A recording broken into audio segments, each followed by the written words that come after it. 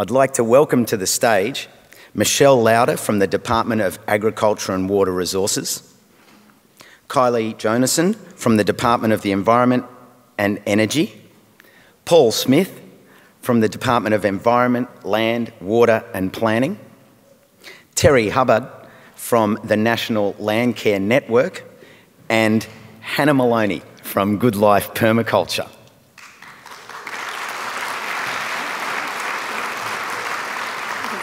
By way of a, a, background, the community land care movement has been active for over three decades in a variety of forms, becoming a nationwide community driven movement and in 1989 with the launch of the Decade of Land Care to address land degradation at the grassroots level. The movement itself is ever changing. It's inclusive of junior land care, coast care, friends of groups, with some land care groups evolving into farming systems groups or morphed into other organisations, and there's many others. In a time of increasing resource constraints, rapidly evolving technology, new land uses, industries and community views, ever increasing threats to productivity and conservation, it is time to rethink what we want land care to be and to achieve into the future. How will we engage with climate change, the management of pests and diseases, land use change, while embracing younger generations of people interested in being involved and making a difference? It's said that the only constant is change. 30 years means generational change. Is Landcare continually evolving and adapting? Is it keeping up with the times? What can the movement do now?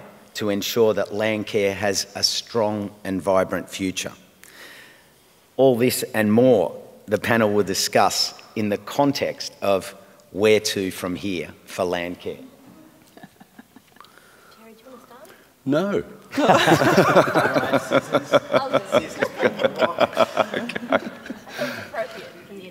That's very kind. Do I need to go to the pulpit? oh, do you want to go to the pulpit? Uh, I'm quite happy to sit here if that's okay. over there, so Righto. My four minutes starts now. Go. Given the fiscal restraints imposed on Landcare and the requirements that under the National Landcare Program, Landcare will work with other organisations within the natural resource management sector, I think this topic is timely. First, let me say that at the group level of Landcare, there still prevails a strong, committed voluntary workforce whose driving motivation, motivation is to leave their land and environs in a better state than when they found it. This driving force, coupled with the attendant social value of community land care, is in many places the glue that binds small communities together. It is the morale booster, the quick responder to crises, the deliverer of significant cost effective outcomes in environmental repair, and the initiator of best farm management practices. And it's been there for the long haul. And yet, the Landcare movement takes regular funding hits, which over the past 10 years or so have been delivered by both sides of politics. The programs which, programs which shift emphasis don't involve local input and which require delivery within tight election uh, timeframes, cycle timeframes, continue to frustrate the movement.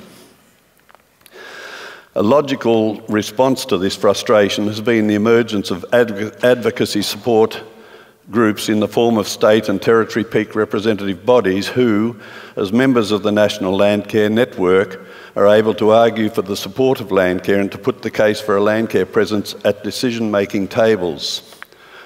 The past two years has seen a marked improvement in relations be between our key partners, LAL, and the national, um, oh, sorry, the Australian peak bodies of NRMs. Uh, and I've lost it as usual. We, rec we recognise the value of combining our collective resources to present the compelling case for ongoing and increased support to maximise the value that every dollar invested delivers. A united approach, putting the value proposition for increased support for natural resource management, will carry more weight within, uh, uh, than with individual approaches. The future, which is really what we're here today about, Many Landcare initiated programs are now aiming at our young people. Schools, environmental curricula are commonplace now and are being complemented and reinforced with remarkable initiatives such as the Kids Teaching Kids programs. We are often referred to as an ageing population, which cannot attract young people to embrace Landcare, but it is not all gloom and doom. I see evidence of renewal in my own Landcare group as new members to our community seek advice and connections as properties change hands. And there is a shift to engaging young people. And while there is much to do in this space, I would cite Intrepid Landcare, which got a mention last night at the awards, as a classic example of how young people view Landcare, how they tweak it to suit their own needs, and how they are receptive to mentoring. Intrepid is a growing organisation and there are similar like bodies as well. Two members of that organisation already have a presence on uh, boards in New South Wales and uh, Queensland. And it is likely that other peak bodies will see the value of this in time. The National Landcare Network has indicated to the federal government the need for support of youth led initiatives in the landcare space, and this is an ongoing discussion. In Victoria and more recently in, in New South Wales, Landcare has benefited markedly from the state government funded Landcare Facilitators Initiative. These young people with fresh ideas and advanced communication skills play a vital role in reinvigorating we older folk and attracting new members to Landcare with the wide variety of attractions they offer. So, in summation, the future of Landcare very much rests in our hands. The emergence of the peak representative bodies is a key element in determining our future direction. We need to nurture our young people through the schools programs and into that next space currently being pop populated by Intrepid. These young people are naturally concerned with world attitudes to environmental threats and they have the communication tools and the will to act. And that's awesome to use one of their favourite expressions. We need governments at state and federal levels to acknowledge that Australia faces significant challenges if we do not act expeditiously to mitigate against the effects of global warming and climate variability. Doing little or nothing is not an option. Governments need to understand that Landcare presents governments with quick response strike teams to deliver morale building, practical, restorative help to those affected by crises in addition to its well recognised dedicated commitment to our natural environment. It needs to be properly resourced. The collaboration of all players in the environmental space is vital if we're to be able to speak with one voice to our funders, to argue the compelling case for ongoing, preferably bipartisan support and recognition of the need to support this large, most cost effective voluntary environmental workforce that we are.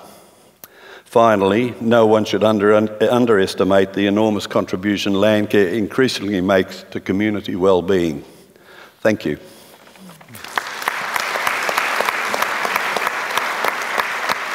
Thank you. G'day. Um, I've been asked to talk about youth engagement in the context of the future of Landcare, and I'm talking about it in the context of agriculture. That's my personal area of um, expertise. And I'm also focusing on it because, as we've heard a few times, over half of Australia is under agriculture. And so, if we can get that right, we actually address a whole other set of issues. And I also want to acknowledge that good agriculture uh, integrates natural systems on the land and in the water. And so, it's very holistic and integrated. So, we're addressing everything ultimately, whether that's on the land or in social systems. Uh, I have uh, observed three key challenges to youth engagement in agriculture over the past decade or so. The first one is access to land. And that's a no brainer in today's uh, uh, real estate market. If you haven't been raised on a farm where you don't inherit land, trying to crack into that and buy something without going into crippling debt is almost impossible. It is so hard. And then if you do do that and then have to go and buy all the infrastructure required to do the farming that you want to do, well, you know, again, you're really putting yourself out there on a limb. Major, major barrier.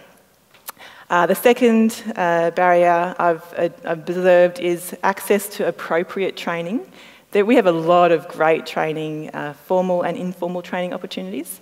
Uh, uh, but as someone who enrolled in the ag science degree, not once, I think maybe two or three times, and I think the longest I lasted was two hours, and I apologise. it's a really good course.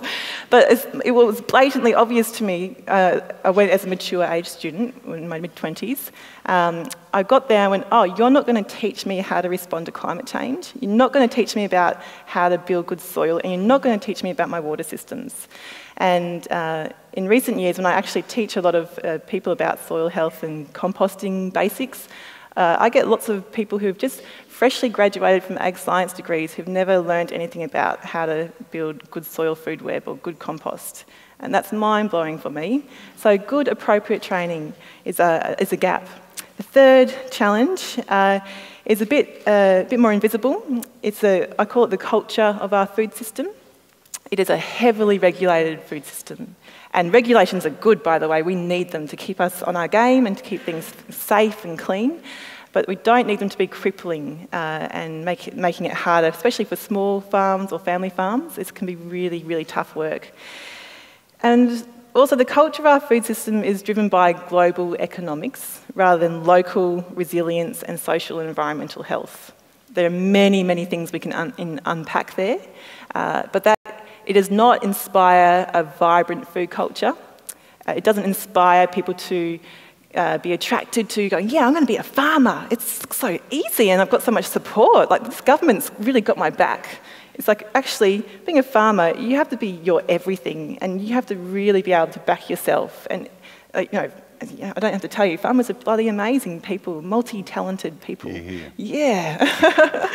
um, so, I have, some, I have some ideas and solutions. I think about them a lot. I talked about people about them a lot.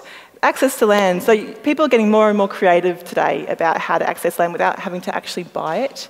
Uh, you can have long-term lease arrangements on private or business or government land. Um, uh, in Hobart, we've set up the Hobart City Farm, which is a long-term lease arrangement on state government land for a peppercorn lease, on other, otherwise underutilised urban space.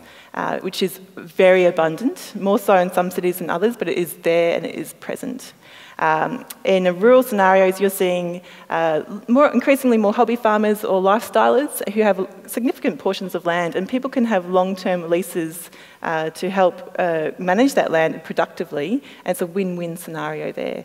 Uh, there's so many great uh, examples of uh, agricultural-based land trusts. We can protect fertile soils from being built on and protect them for forever so they can be productive and sustain us forever, which is, which is really great. Uh, moving on to access to appropriate training and, and possible solutions. Uh, we heard yesterday from the very wonderful Major General, the Honourable Michael Jeffery, and he was talking about um, good training starts from school gardens, and I wholeheartedly back that. I've worked a lot in school gardens. Um, anybody else who's worked in that space will notice, though, that as soon as you graduate from primary school to high school, school gardens stop. and the messaging with that is that school gardens are lovely and fun, but they're not a viable uh, career for you. That's the invisible message that people pick up on, I personally believe. And wouldn't it be great if school gardens were integrated, as uh, Michael Jeffery mentioned, all the way through um, to grade 12? Uh, and wouldn't it be fantastically awesome if there were urban and rural agrarian training hubs where people could go to to get on the ground practical skills to back up theory and learn theory. Um, in urban centres, this could look like market gardens, uh, where it's really viable to have half an acre or a number of quarter acre sites uh, to learn the fine arts of market gardening or small scale livestock keeping. And, and, similarly, in a rural context, wouldn't it be amazing if you could go to established and ideally mature systems showcasing holistic management, silvopastures, integrating livestock and tree cropping, uh, passive water harvesting? I can go on. But wouldn't it be great if you didn't have to sit at uni lecturer similar to this for three years and learn about it on a PowerPoint, and you can go and learn appropriate, relevant information for your context? I would have just, just loved that 12 years ago. yeah, yeah. okay, I've almost finished. The solutions for the culture of our food system, well, that's a big one. And I think Michael Jeffery's really uh, nailed it on a high level. We, need, we do need that national uh, soil policy, I believe. And Costa, you nailed it when we said the Ministry of Soil and Compost, also highly critical. Um, Michael Jeffery's mentioned uh, having strategic national assets of the soil, water, and vegetation. It's bang on. I can't, I can't fault that. Um, we need it on multi, multiple levels, though. So, on a grassroots level, you're seeing people to self organise, um, to come together as farmers, as producers, to, to connect and share information and to um, uh, help each other basically uh, get across those regulations that can cripple and put people out of business uh, and share those skills and experiences to um, uh, accelerate uh, their livelihoods being viable and long term and forever. And that's about, so, so, much of that's about regulations currently. And of course, like, I, I, what should I say? I think that we have everything we need right now to respond to the massive issues that we're facing. That includes climate change, regulations, etc. I think Landcare has a really amazing uh, uh, origins in farming, incredible three decades full of great uh, implementation. And then moving into the future, we have got these, these some really obvious gaps, which I've just outlined, and we've got some amazing opportunities for Landcare to collaborate with other uh, community individuals, groups, partners, etc., to fill them. And wouldn't that be amazing to see um, those agrarian hubs. I'm just going to keep saying agrarian educational hubs. so thank you. Yeah.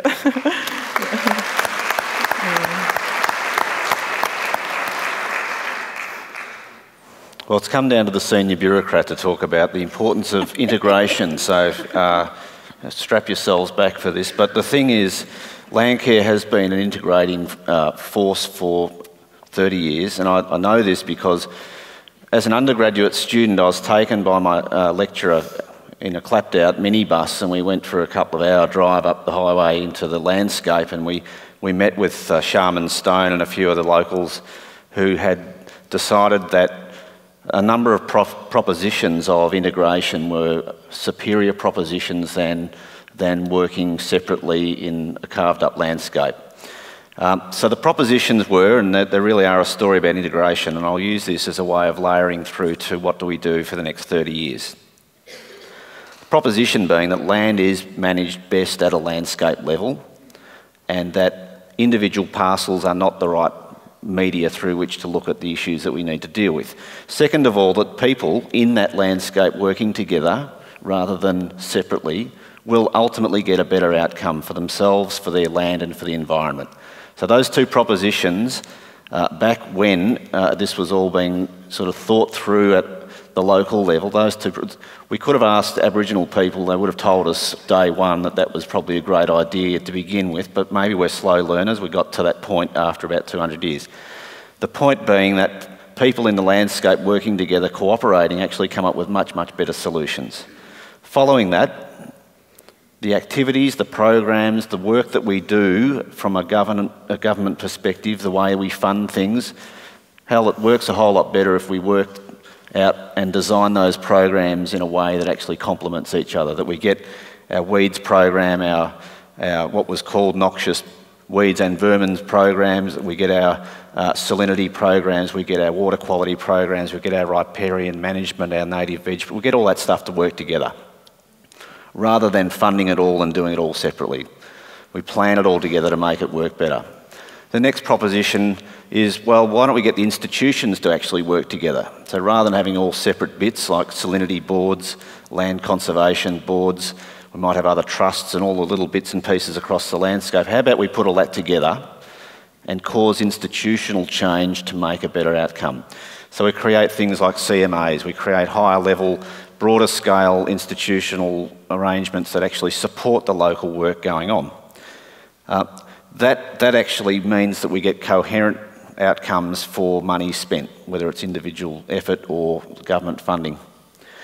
So that's a more sensible way, and we ended up with total catchment management and integrated catchment management. Those things, those terms have been lost a little bit over time, but I think if that's fundamentally what we're all talking about here. Um, those individuals working as groups, working as networks of groups, the scale goes up and the benefits go up as well.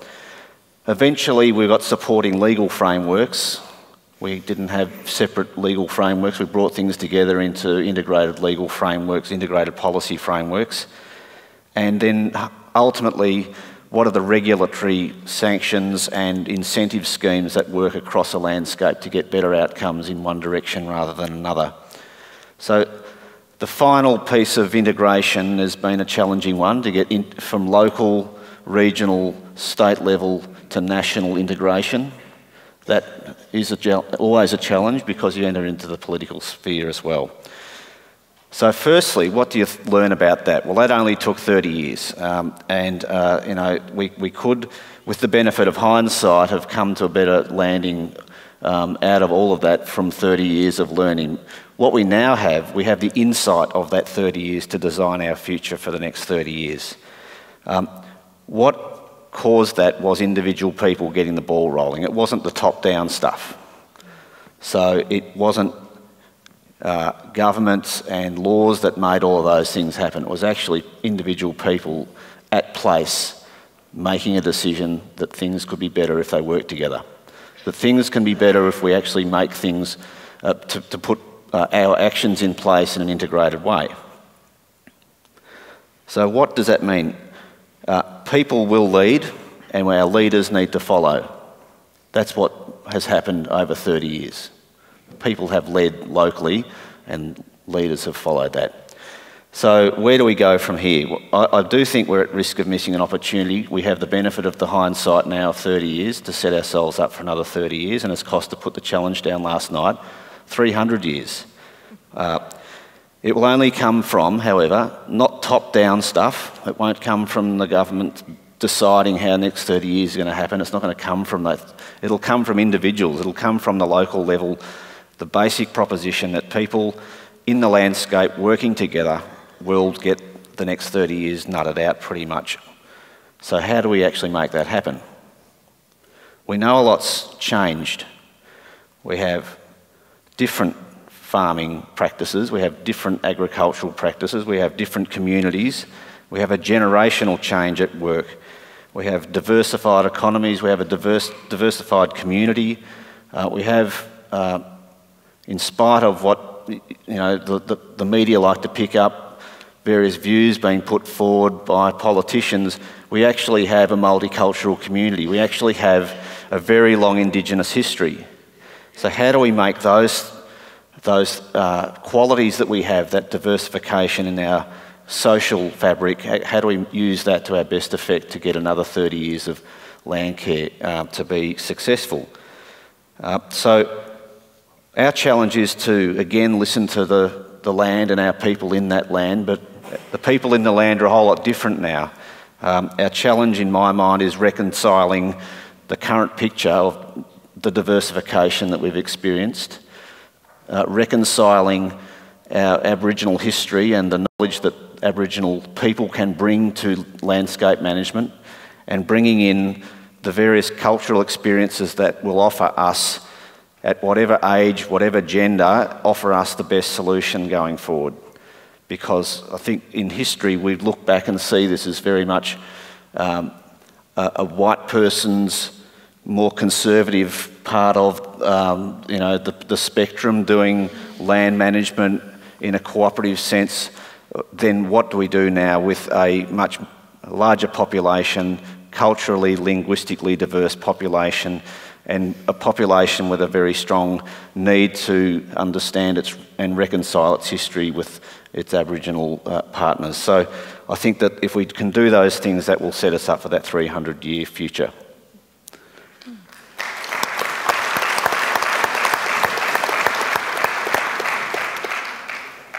Um, g'day, I'm Kylie. Before I start, I would like to um, acknowledge the people on whose land we're meeting, the Kulin Nation, and pay my respects to their elders, past and present.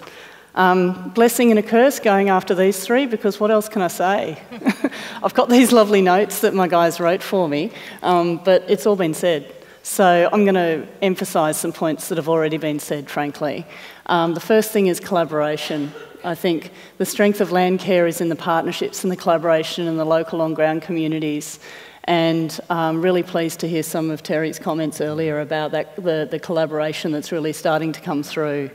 Um, you know, I guess I'm, you know, I'm, the I'm also senior government representative, so I'm bound to mention the money thing that Terry also identified. We all know that it's a scarce resource and it's getting a bit scarcer. Um, what can we do to convince governments that we need to continue to invest in these things. They're, we know they're very important. We're preaching to the converted in this room. So, how do we translate that message into something that our masters and, and my minister um, can understand? I think is really critically important.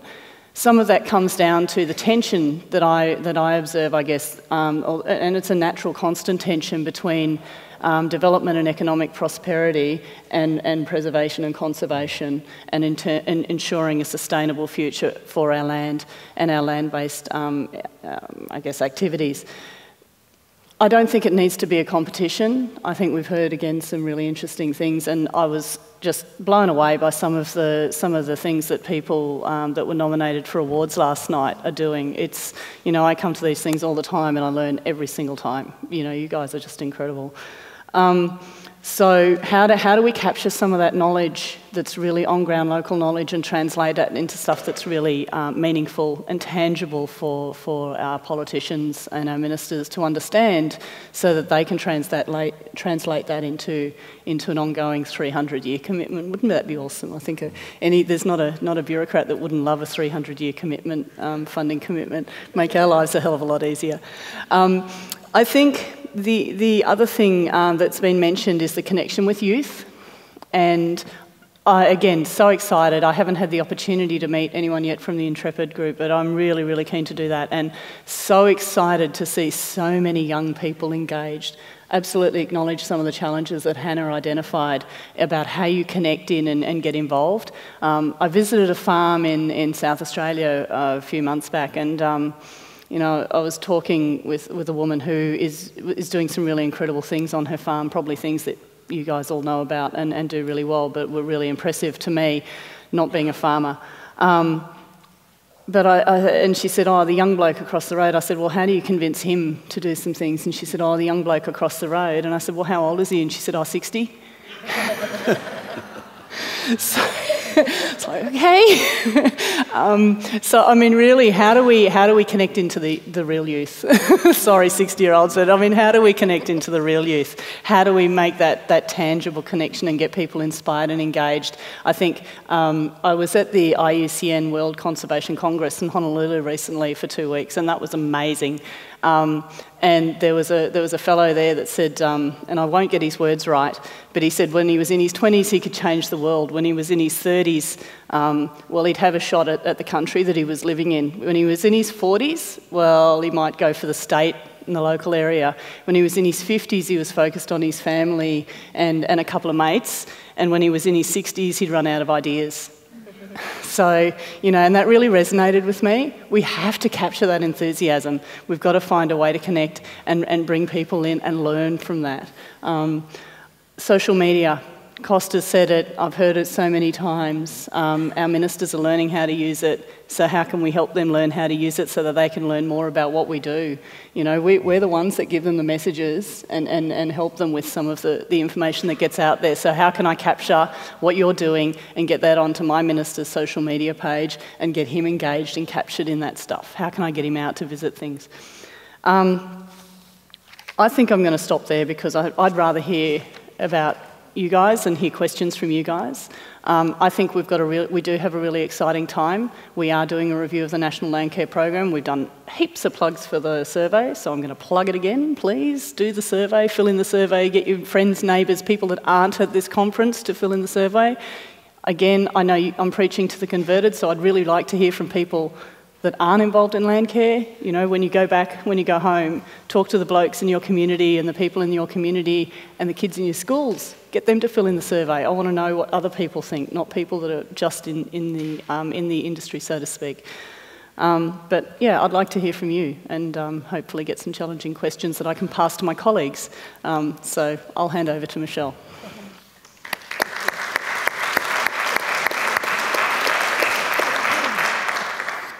Thank you. Um, as we all know, Landcare is unique in so many ways. It's a grassroots movement. It's about community action and making a difference. It focuses on natural resource management, bringing together sustainable agriculture and productivity with protecting and rehabilitating the environment. It's uh, one of the most recognised brands in Australia. And some of the innovations that have been trialled, shared, and adopted through Landcare have led to significant practice changes. Things like minimum and no till, retained stubble, fencing off stock from waterways and veg native vegetation, ground cover targets, etc. Today, we keep hearing there's over 5,400 groups involved in land care, over 11,000 schools involved in land care, and that doesn't include all the hundreds of thousands of individuals that practice land care on their property, in their community, donating funds, turning up to events, etc., etc. So many are involved. Do you remember when computers were as big as a house and costed billions of dollars? Now you've got one in your pocket. Look, Terry's got one in his pocket. um, you know, that can drive your tractor and manage your bank accounts. Remember when a drone was something that delivered boredom? Now it delivers real-time information feeds from your property to enhance productivity and maximise profitability. Remember when no-till farming was a new concept? Today, adoption is near 90% in some districts. While we hear it regularly, change really is the only constant in today's world. And whether we like it or not, this applies to everyone and everything, including land care. Land care, like everything and everyone else, needs to evolve, needs to move with the times. This is not so much about changing what land care does, but how it does it. From the beginning, land care was a grassroots movement focusing on the needs of the local landscape and the local community, and that continues on. There are new communities making Australia their home. There are people moving to new communities all the time. Is Landcare taking advantage of those opportunities? These people often want to connect with the local community and learn about the local issues. What is the community interested in that you can link to Landcare in your region? I recently heard from Corangamite CMA that they've been um, working with the pony clubs. These are full of so many young people and their parents that are involved and deeply care about horses. It's not a big leap to engage them in land care. And we've heard a lot from a lot of the panel about engaging with youth, you know, and, and there's big opportunities there. Um, I, I, read a, a, survey recently that was saying just in the last 12 months, 30% of millennials, so people between 18 and 34, have volunteered, you know, and, and they have plans to continue volunteering in the next 12 months. We, we are also busy, and we always hear about, you know, different parts of the population that are too busy to get involved in land care. But it's not one size fits all. There's people that want to get involved and, and want to help and want to do things to make a difference. And then there's other people that this is not the right time in their life, they need to do it later. I, I do know Landcare is changing. I remember being at the 2012 National Landcare Conference, and one of the large focuses was teaching us, teaching the, the people that came to the conference about social media, how to use Twitter, how to use Facebook. And now you can follow so many Landcare groups through social media, and that's been a big change just in the last four years. Funding support, as we keep hearing from everyone, is becoming increasingly difficult to obtain with increasing demands at the government, corporate and philanthropic sectors. There's not enough funding for every important issue and cause. So work's required to provide a prospective funder with what's the value proposition for them? Why should they fund you? How is it to their advantage? How does Landcare help achieve their goals? Is it going to be a good news story for them, or are there going to be complaints about who missed out? These things all need to be considered. So, what are the opportunities for Landcare? Funding, I know a number of groups have been um, using crowdsourcing, um, fundraising like sports clubs use today, spreading the load and having some funding from many. The new generation of land, care, land carers, so not just young people, but new members to the local community, people that now have more time on their hands, a diversity of land carers, whether it be gender, age, or culture a variety of engagement types. So um, some people are interested in getting together on a working bee on a monthly or a fortnightly basis on a long-term project. Others are more interested in just one-off events.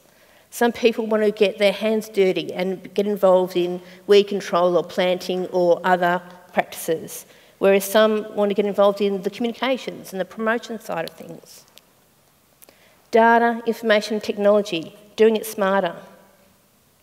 And markets are starting to demand products from landscapes that are well managed, not degraded by the production of food. So, what does Landcare need to do into the future? I believe that Landcare needs to consider what it's done, what it does well, what it has done well, and what it continues to do well, and focus on this because it's still needed. Local engagement of people, it's vital. There's always a need for people to connect with each other over common issues and interests.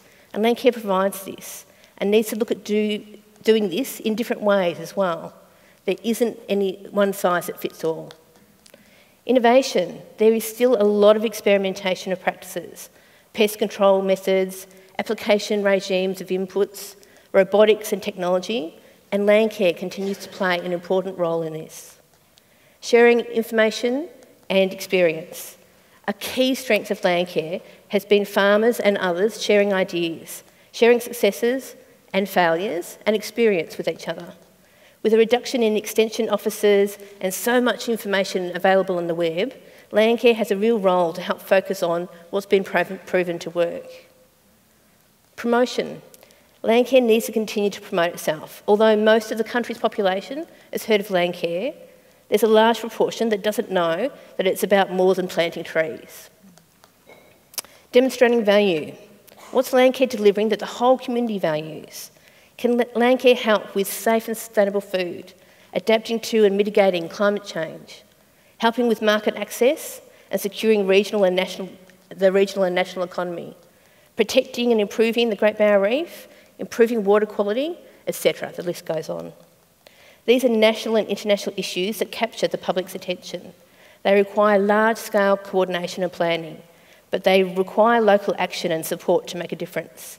Thinking globally but acting locally has always been one of Landcare's strengths. Thank you.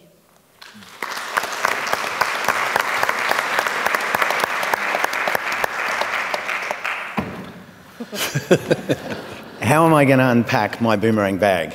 there is so much that's just been put on the table there, but I want to I want to come pretty much immediately to questions, but just one quick thing I couldn't help but go past.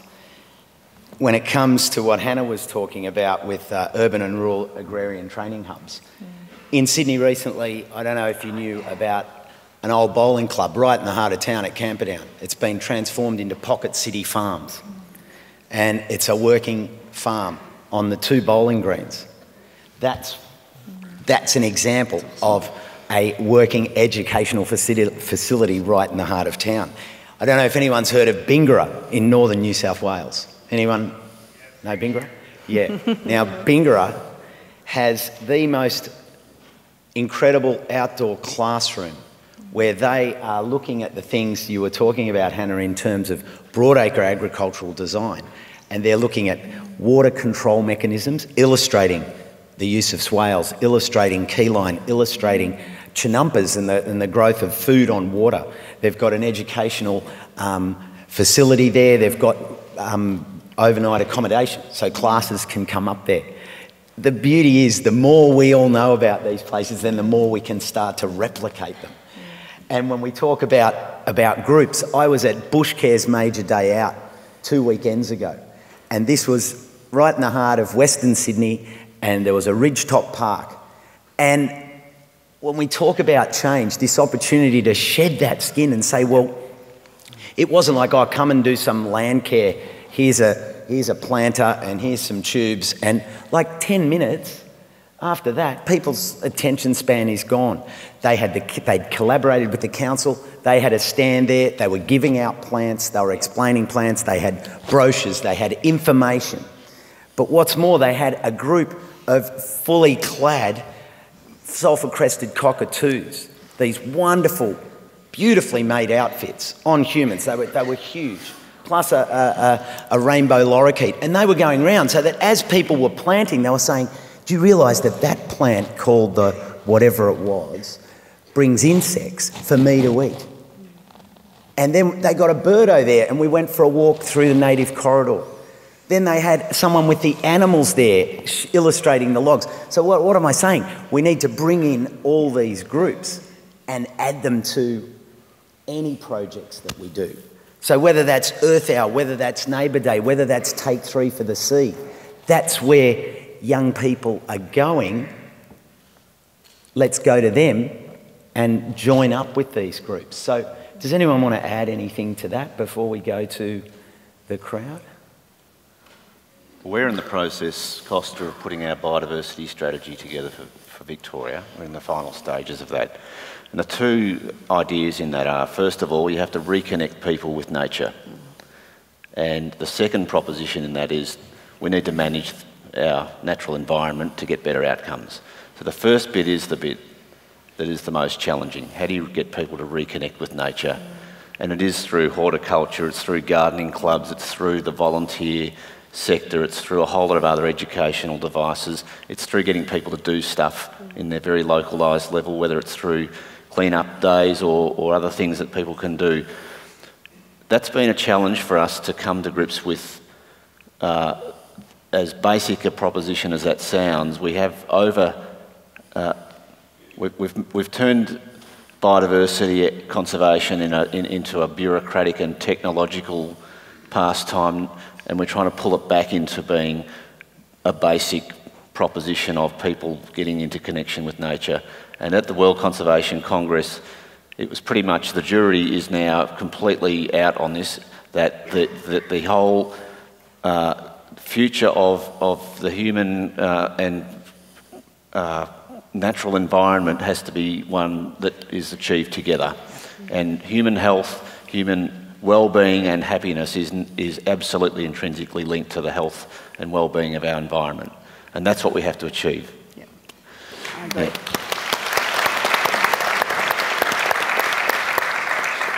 Yeah. Costa, um, you know, we, we're also doing our national biodiversity strategy, and that's exactly the conversation. It's about how you reconnect people in the dialogue, um, how you make it meaningful. Use the word nature as opposed to something else that's got five, whatever, yeah. five syllables in it.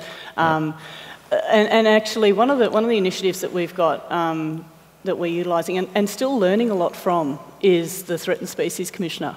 Some of you probably know Gregory Andrews, yep. the Threatened Species Commissioner. He's in my area, um, who constant, he, he frequently turns up in a bilby suit um, to, to, to, we actually, um, I should make a plug, there's a, a, fundraising activity that he's got going on at the moment, and um, I think the challenge at the moment is whether he dyes his hair pink and puts a mohawk on or has to do a run around the lake in a bilby suit, depending on how much money he raises. So um, get, on, get onto his Facebook page and have a look. But um, yeah, it's, it's great. And I actually think Sunriser got on, got on, the, on the game, so there's a big challenge there. I, am making a plug for the Bilby suit, but I might lose out to the Mohawk.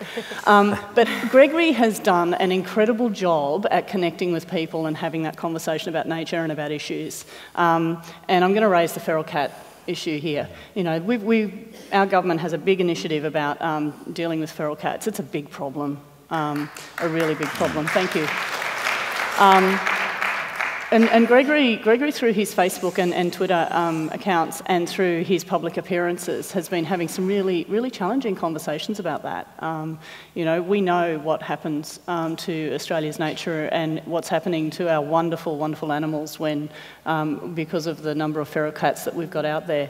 Um, but we've also have, um, you know, they're part of our, cats are also part of our lifestyle and part of our, you know, part of our. Um, we have them as pets as we, as we have our dogs as pets and other animals. And, and that's created a really um, challenging conversation um, Gregory's had both some wonderful compliments and some um, very um, challenging conversations to have. The thing that I want to make, the point that I want to make is that he's been able to use social media and his engagement, which is challenging for bureaucrats, let me say. We're not good at putting ourselves out there and being, you know, human. We've got to say, no, no, we need to support the minister and we need to support the government of the day. But Gregory has actually been able to open up a very active and real and unfiltered policy conversation with the public, anybody who wants to engage engage at all levels of, of sense and feeling um, on the feral cat issue. And it's been remarkable for me to see the level of engagement. He's got letters from Brigitte Bardot. right? um, it's worldwide. He's been written up in the New York Times. For something like that, that is using social media, that gets that broad um, and, and, gets that, that level of engagement is quite exciting, which means it's, it's meaningful. The trick, though, is to make it real time. So the other thing that bureaucrats are not good at doing is being really fast and agile and flexible. We're getting better. We know we need me. to do it. I'm looking at my bureaucrat colleagues, but they're shaking their heads, so maybe it's just me. Um, Gregory has real-time conversations with people in his social media accounts, and that's a real investment. We're better at sitting behind computer screens and, and typing letter responses that get filtered up through senior people and off by ministers, and then you get a standard response. But Gregory has real-time conversations with people. And I think that's also been a real trick about engaging. So if you're going to use social media and you're going to use these methods, you have to use them in a very real way. There's no point having it there and letting it sit and then taking three weeks to answer it, or a week. Even a day can be too long sometimes. It has to be a real conversation. It has to be in real language, um, words of less than five syllables, um, and it has to be meaningful and, and, and, and have courage to address the issues.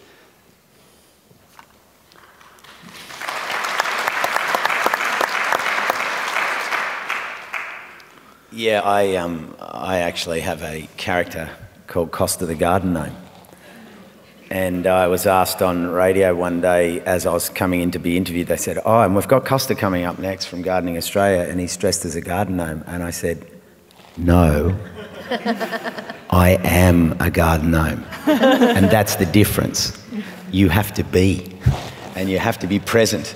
And when I am the garden gnome, well, I am the garden gnome. I could have bought my outfit, it wouldn't have made no difference. I would have got up here and delivered what I had to deliver because when you believe it, it is you and it just oozes out. So, so yeah, use these, use these mediums to get your message out there. I think that's the point that's coming across loud and clear from our panel.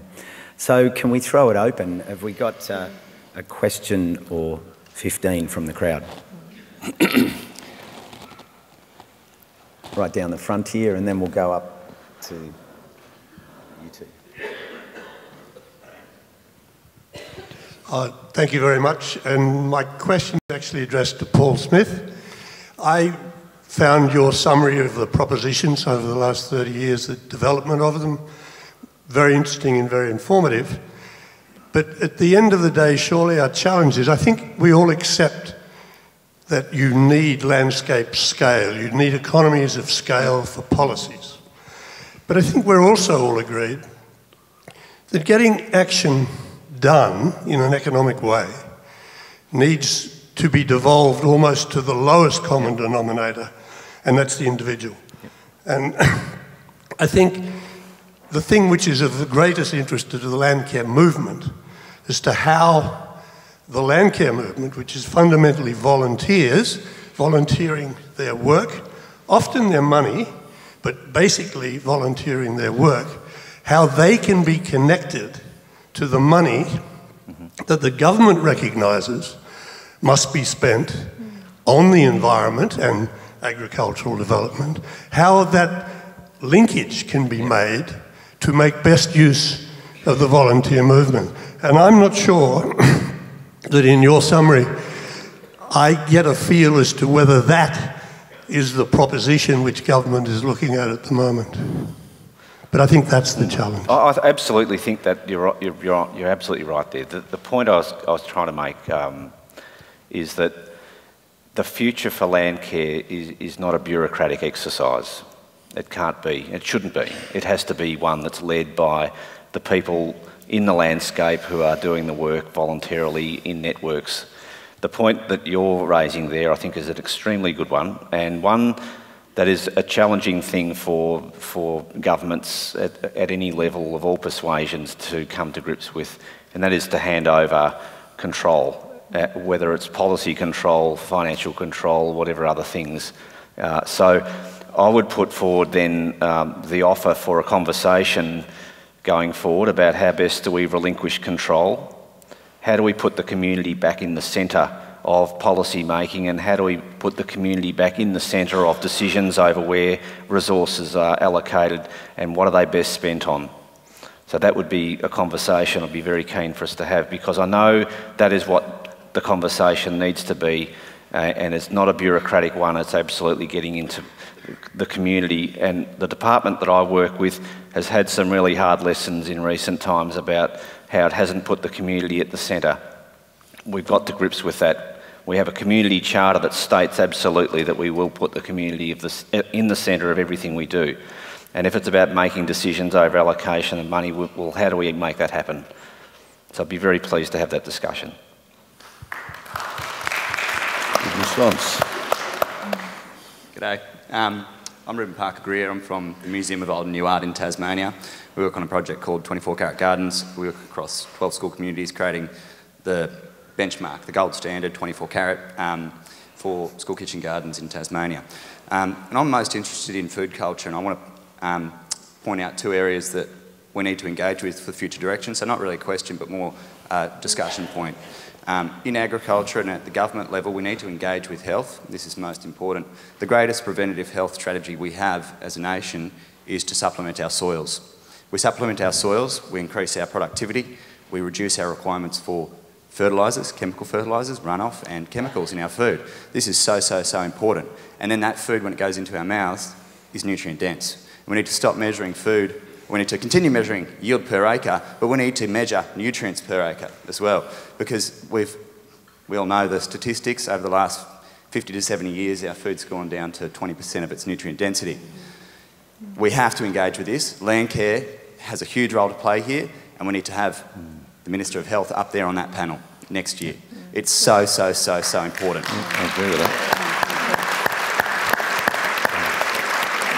Now, now the government policy level is great, but that doesn't get culture change. And we need that at the community level.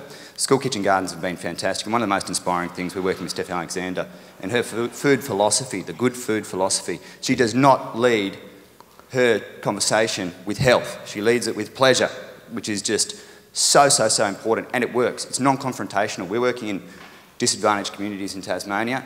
And if we were to lead telling people what to do, it doesn't work. We need to engage with culture and we need to engage with the pleasure of food. Now, there's a great, um, when we engage with new areas, I think the foodie people need to be here as well. We do not have it. Coming from Mona, um, we have a huge amount of energy in the local food movement in Tasmania, and it's a really powerful body, and we need to be getting the people in the food movement in, Tasma in Tasmania and Australia looking at food quality. It's a great book by Dan Barber called The Third Plate. He went around the world looking for sustainable agriculture or the best food that was created by sustainable agriculture and regenerative agriculture. And he's saying that the best food in the world is from the best practices in the world. And, and that's what we need to be doing. And just for some wonderful big picture ideas, imagine Australian sustainable farms, regenerative farms. It's a new studio for MasterChef. You know, come on, this is where we need to be. We need to engage at that really high level, and um, Intrepid has a great role to play here, engaging. But the great thing about food is it goes across everything, and uh, I think there was that quote: um, "If you eat, you're farmer." You know, so mm. Mm. thank you. Mm. Okay. So I, I, agree with those points, and, and at a lot of Landcare conferences we've had, um, we had Gourmet Farmer here from Tassie, to talk at one time, and we've had a number of different chefs. And like you, I've been reading a lot on the nutrition and what we need to do to our soils to actually increase the nutrition in our um, food. So I, I, do agree completely with everything you said, and that health needs to be part of this discussion as well. Yep. Yeah, Costa, I, I, um, you're talking my language. Um, a few of you in this room actually know that my previous um, roles were in health, mm. and they were also, I did prevention, I did food reg, um, and a whole range of other things. Um, and while I was at IUCN, I had conversations with my Victorian colleagues exactly about this.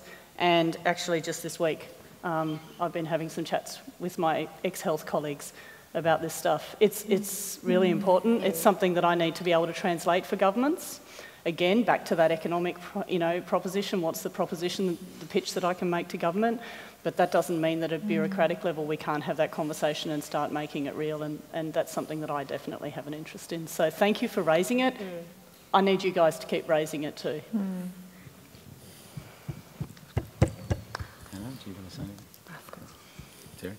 Pardon? Do you want to say anything? Oh, um, in four and a half minutes uh, given to present the case for the future of Landcare, it's often hard to encapsulate all the things that you would like to put in there. And I've been a, a firm believer that um, you could argue the case for the health industry to be putting money into land care to improve the social well-being of people because you'd be saving the money at one end of the spectrum and I think we haven't got any evidence to support this, but I think over time you would build the case that says an investment in social well-being at that level will cut off a number of the things that end up costing a lot of money down the track.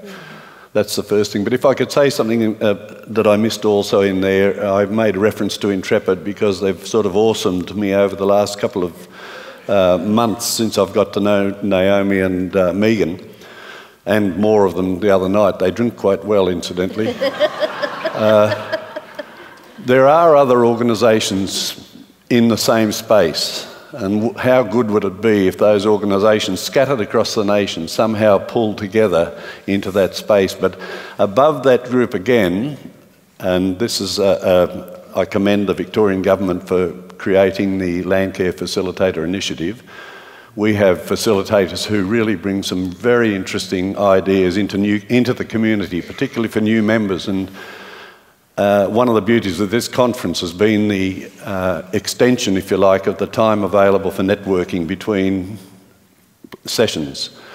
And there's an enormous amount of networking going out there. And if anyone is interested in this room, I'd, seek, I'd advise you to seek out Sonia Sharkey from Broadford and from the Southwest Goulburn uh, Landcare Network, who over the last few years has been introducing a, a, a subject called Farm Blitz. Now, Farm Blitz is um, introducing newcomers to the area to all sorts of things, which just brings them into the community. And it's been a, a great innovation, and it's been stolen by many other Landcare networks so far. So I think that's another bright spot on the horizon. Really bright. Thanks, Terry. Um, uh, Thank you. My name is Bill Piggott, and I'm a grassroots volunteer for Landcare, a Landcarer. And a couple of comments. One is just to follow up the, the health issue. Food would seem to me to be a small part of that.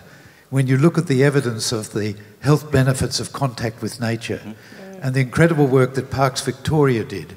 In looking at healthy parks and healthy people.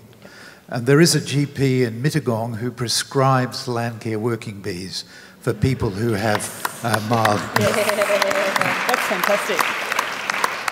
Um, I have a question to the panel, but I wanted to first uh, comment that I was disappointed to see the balance of, the, of, of this panel when we're talking about future directions of land care.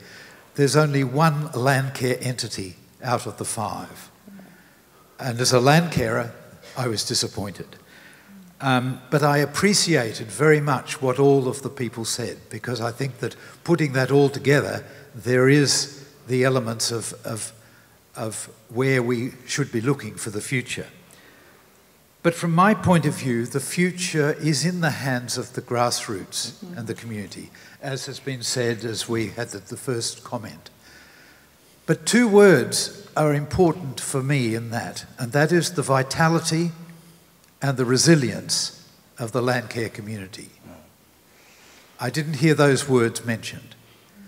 So I would like to ask the panel, each of the panel members what they would see to be the key to maintaining and nurturing the vitality and the resilience of the land care community in all its diversity and variety.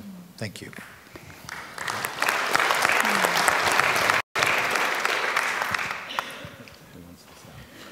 Well, I'll have a go. Um, one thing we know about natural systems is that the less diverse they are, the weaker they'll be and the less resilient they'll be. And it's not at all any different when we get to talk about social systems. Mm. And so to be resilient and have vitality, the renewal side of things is very much a critical part of that. The comments I made earlier about diversification is, is my language for what you were talking about there is how do we get more resilience into our social fabric, and that is by embracing the diversity that is among us.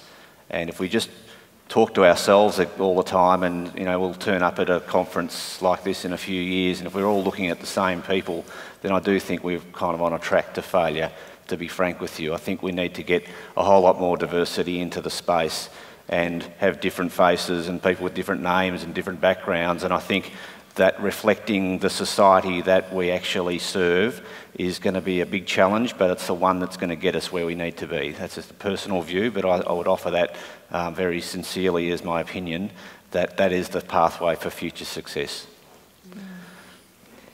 And I, and I would, oh,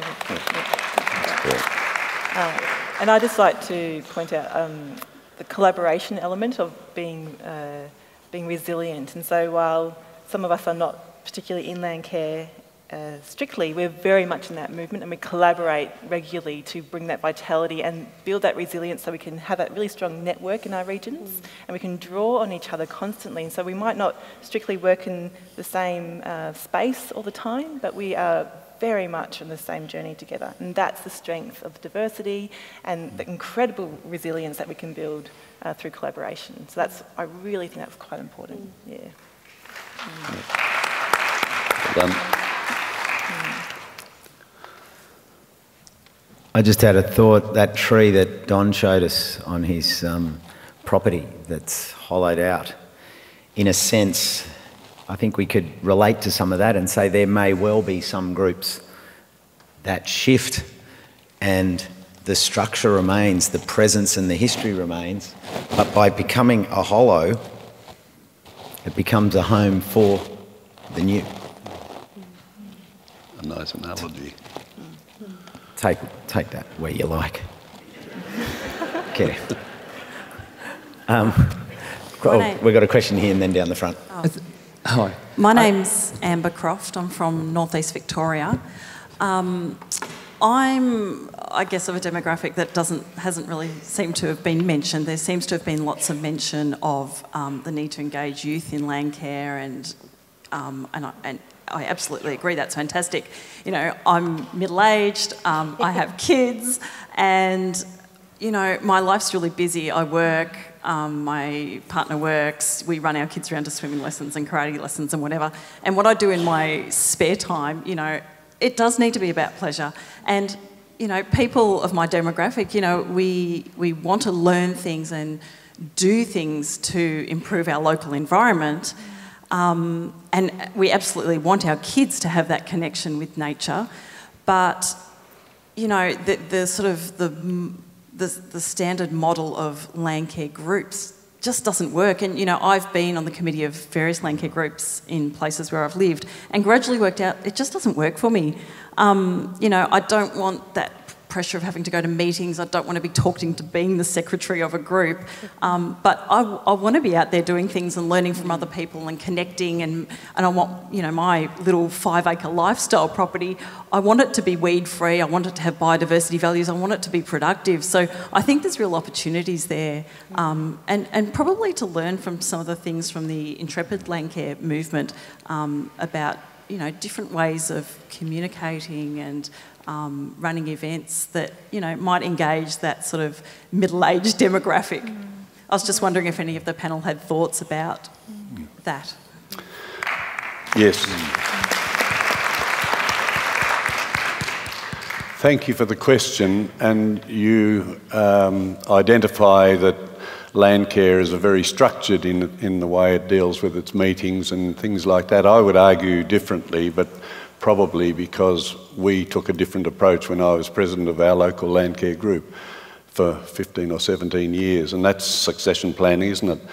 Um, we, we determined early that people were becoming meetinged out. There are so many other demands on people's time and everything else. So, uh, after the first annual general meeting that I was elected, we created an executive, which happened to be 22 strong uh, in number, and the executive did the meetings and disseminated the information to the 66 families that we've now become in our Landcare group. And that's prevailed for the last 15 or 18 years now, and it seems to work very well because it takes the pressure off people like you and it enables those who have more time to uh, meet and make the direction for, for the Landcare group. So the only meetings that our Landcare group has is on our days when we're either planting trees or bird counting or fencing along the uh, King Parrot Creek or revegetating along the King Parrot Creek, uh, the riparian zones, which we consider so important and the main focus of our Landcare group. So there are, uh, we shouldn't be locked into this hard and fast, must have a meeting every month or anything like that. Our, our, our current president um, addressed our, or reported to our last AGM, attended by 55 people, a fully catered meal funded by our funds, which we raised, a sit down meal. But he observed that he'd been, as president uh, in another capacity, to three other annual general meetings, at which the maximum number of anybody present was nine. And he was contrasting that with what we've been able to achieve over the years. So without wanting to build the Strath Creek Landcare Group up as a model. If anyone wanted to investigate it, I'd encourage you to do so because I think it's, it's a fresh and different approach to the way we manage Landcare. Bloody hell, we've got so many meetings, haven't we? We do, we do. And it was a really good point, Amber. And, and like Terry, I've heard of a number of Landcare groups that um, try and use their executive to do some of the work and organise some events and then use social media to invite people just to come for those four, day, four hours, I mean, on a weekend, for example, and then have a barbie or something afterwards, trying to make it easier for people to volunteer and not needing to meet on a regular basis. And I think sometimes this is where, um, where we're able to have some um, Landcare facilitators, they can help organising these things. So both um, Victoria and New South Wales have invested in a lot of local facilitators, and we have um, regional Landcare facilitators, and I think possibly they can help with some of these things that need to move forward as well. Mm. Uh, John Ryan, I'm a local Landcare coordinator at Dubbo. I think the, the big elephant in the room is, is the political one. Okay. And we, we hear all these amazing things, and we hear some really good stuff from senior bureaucrats, but in the end, it doesn't translate to resourcing, proper resourcing for Landcare. And it concerns me that we don't have a political voice. I don't think we're, we're nearly strong enough. And I think most Landcarers are, are very nice people who don't think they should get involved in politics. And I think that's a real, I think that's a real problem. The, um, it concerns me because at the, the federal policy level, we're wasting hundreds of millions of dollars. And I'll give you one example a bloke in Western New South Wales got $14 million to not clear invasive native scrub from his property. And the, the people who organised that, who cherry picked that project and designed it, got, 14, uh, got 8 million of the 14. But the bloke who got 6 million didn't care because his property was only worth 3. I had an argument with Greg Hunt about that and I explained the situation to him. And at the end of that, he said, Point taken. But all he needed to do was, with the science that they've, um, the science that they can justify, he can stand up in Paris and say, uh, "Look, you know, we're mitigating, we're mitigating so much um, uh, carbon into the atmosphere that scrub was never going to be cleared. There was no business case for it because to clear it would cost more than the land was worth. So." The best case scenario is we lost $11 million just in one project. That could have set up an industrial hemp industry.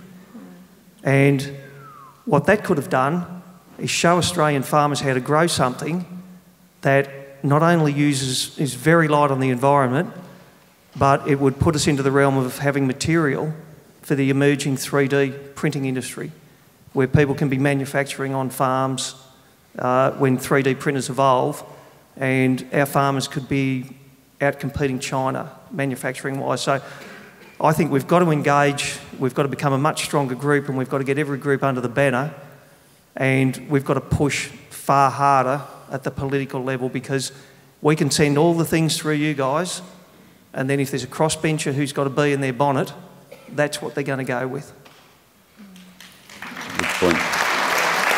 Did you ever see where he was? That's certainly um, something that the National Landcare Panel um, can drive, I, I would imagine. But uh, any, any single comment there from the panel? Did you want to talk, I think? Um, look, no. it's a big one. Chicken. Thank um, you. so I'm not being trite, but I agree, point taken. Um, I'm aware of those issues as well. Um, and I think, um, thank you for recognising some of the challenges in translating the messages. Um, but I think also part of what I take from what I, I have been hearing about is also a point that was raised earlier, which is the need for bureaucrats and policymakers also to integrate and collaborate across the boundaries. You know, um, as you know, they're two areas in the same portfolio, so we need to do that better too. Okay, um, we're, we've hit 10.30. There's 20 questions. I'm getting evil looks. I've got eager eyes everywhere. Um, it's real short. Yeah, it will be really short. My comment is just on the, the age that we are in with the handover of farms. The 40, 1940s children now are handing the farms yep. over. Mm. That's where, if Paul was talking about a conversation, we need to have a conversation with the next people that take these farms on. Mm. And we need to make it palatable because I talk to younger farmers and they go, oh, all that environment stuff, it's, oh, there's so much, I just, it's not palatable. That has to change because as we, we've, we've done 30 here, and Landcare is very good at looking back, but I think we do enough of it now. We really have to move forward for this next lot of farm owners, whether it be the younger son or daughter or corporates that are just going to take over big swabs.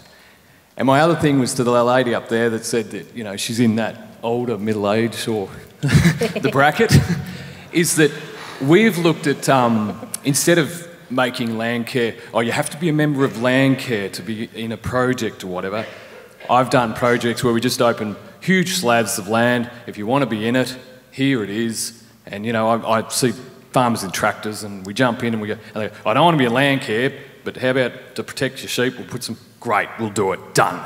So that's the way of doing it. Because we hear a lot of talking and conversations and all this stuff.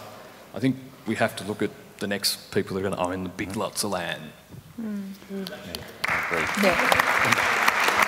yeah, yeah, that was short enough. That, that's a definition of uh, what land care uh, might be uh, in the eyes of those people, the new people coming onto those farms. It seems to me that um, leaving aside the advantages of the biodiversity plantings and things like that, a, a farmer coming onto land would be a fool to do anything else but improve that land to guarantee the productivity that he needs to make a, a success of it. So um, they might be in denial about all that land care stuff, but I would imagine that common sense says that they would be doing what they can to make good value out of the property they're on.